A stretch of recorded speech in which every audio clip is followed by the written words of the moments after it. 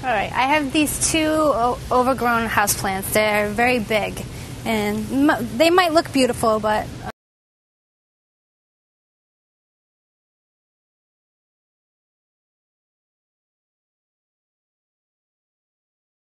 more time, it's just going to break.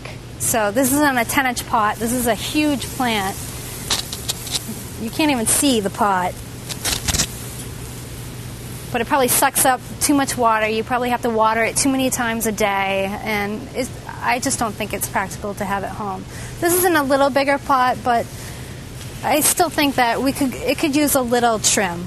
So this is one option. We can cut these plants back, or we could pot them up into a bigger pot. But as I said before, I don't really think that we want to get it too much bigger. And in a home setting, I just don't think there's room for it.